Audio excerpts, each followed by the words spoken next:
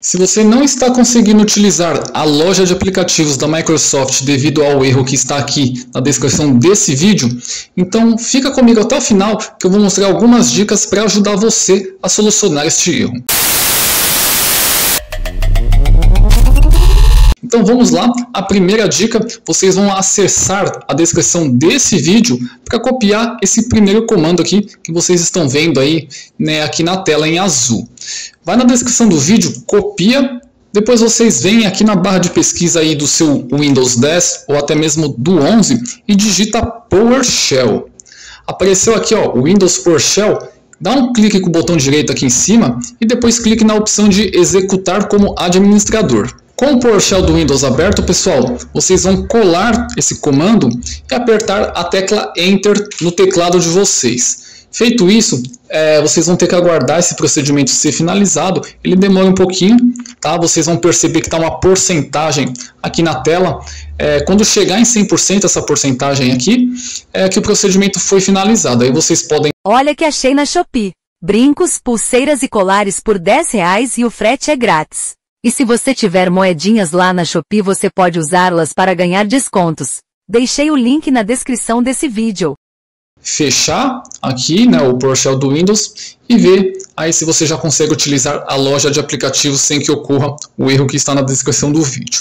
Caso o erro ainda persista, a segunda dica, vocês vão vir na barra de pesquisa do Windows e digitar WS Reset digitou WS Reset, pessoal, é, vai aparecer aqui, ó, opa, peraí, digitei errado ali, ó, WS Reset.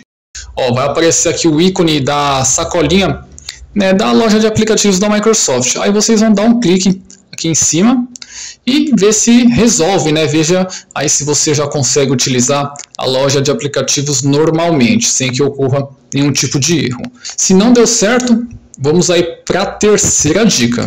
Deixa eu fechar aqui. Terceira dica, pessoal. Na barra de pesquisa aí do Windows, né, vocês vão estar acessando as configurações. Aqui nessa aba de configurações, clique na opção de aplicativos. E agora vocês vão localizar aí o aplicativo do Microsoft Store, né? A loja de aplicativos da Microsoft Store. Para ficar mais fácil, vai na barra de pesquisa e digita aí, ó, Store vai aparecer aqui, ó, Microsoft Store. Depois vocês cliquem em opções avançadas, vai abrir uma nova página, aí vocês desçam até o final dessa página e cliquem nessa opção de reparar, aqui ó. Dê um clique ali, veja se você já consegue utilizar a loja sem que ocorra o erro. Se persistir ainda o erro, você tem a opção de restaurar. Como o nome aqui já diz, pessoal, é, ela vai restaurar a loja de aplicativos. Tudo que você já tem instalado, você vai perder clicando aqui nessa opção. Caso você não queira né, perder aí os aplicativos que você já tem instalado lá, não clique aqui nessa opção. Faça né, as outras dicas aí. Tá certo? Bom, deixa eu fechar aqui. Caso você tenha feito tudo isso e ainda não tenha resolvido o erro, vamos aí partir para uma próxima dica. Bom, a próxima dica, pessoal, é bem parecida com a primeira. Né? Vocês vão copiar nesse comando aqui ó, e colar ele lá no PowerShell do Windows. Tá certo? Ó. Aí é basicamente a mesma coisa é, que a gente fez lá na primeira dica. Vai na barra de pesquisa, digita PowerShell. Ó. Apareceu aqui o Windows PowerShell clica com o botão direito do mouse e depois clique em executar como administrador. Com o PowerShell do Windows aberto, é só colar o comando e apertar a tecla Enter e aguardar o procedimento ser finalizado, beleza? Caso não tenha dado certo, vamos aí para a última dica. Vocês vão fazer o que agora, pessoal? Vocês vão copiar e executar né, esses dois comandos que também vão estar na descrição desse vídeo aqui. Tá certo, pessoal? Se eu estiver indo um pouco rápido, é, pausa o vídeo, volta, assiste de novo, tá certo, pessoal? Então, se eu estiver indo um pouco rápido aí, dá uma pausada no vídeo, volta. Então, vamos lá, ó. Eu vou deixar esses dois comandos na descrição do vídeo, vocês vão executar um de cada vez no PowerShell do Windows. Então é esse primeiro comando aqui, ó, que está em azul, e depois esse outro aqui embaixo.